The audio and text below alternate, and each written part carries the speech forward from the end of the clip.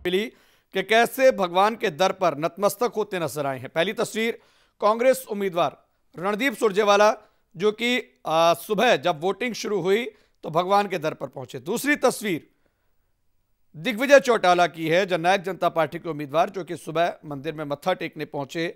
या सीधे तौर पर हम कह सकते हैं कि आशीर्वाद लेने पहुँचे, कि उनकी लाज बचे।